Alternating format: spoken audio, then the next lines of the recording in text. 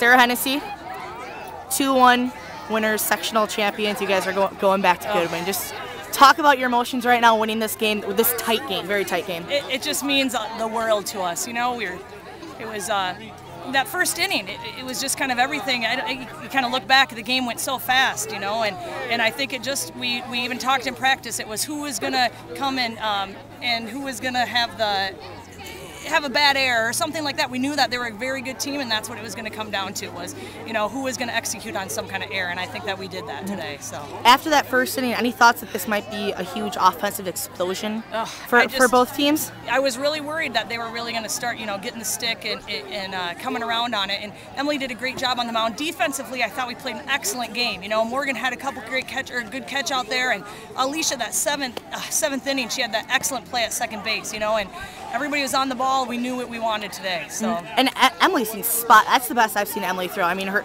she was mixing well. She yep. was hitting her corners. Talk about Emily you tonight. know, I think that first inning. I think that was um, sometimes she'll have one inning. You know, and I think that was maybe that. And she knew she had to buckle down. And she, you know, she came with the pitches. She really did a good job for us today on the mound. Rachel, I think, was back there talking to her. I, that one we were going to try to walk the girl. Then she got two strikes on her and threw a change and. I mean, we got her. You know, mm-hmm. it was it was excellent all around. So. Mm-hmm going into that seventh inning, I mean, you know, a lot of girls are very experienced in pressure situations. Yep. I don't, I don't know if Emily is as experienced. You know, getting that ground out and then those two strikeouts, especially to end the game oh, on a strikeout. Huge. I mean, just talk about that seventh inning. It was huge. You know, they knew they had three outs, three outs to get to state, and the, and they were really going for that goal. And um, you know, I think I remember the first out was I don't even remember what it was, but but when Alicia got that one at second, I think that was huge.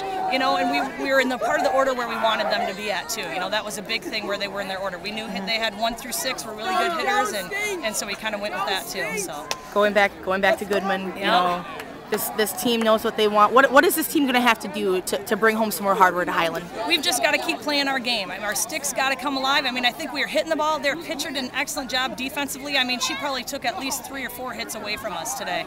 You know, their second baseman took that one away from Carliana there in the seventh. Um, you know, we just hope that maybe we'll have some hits that'll fall this next time.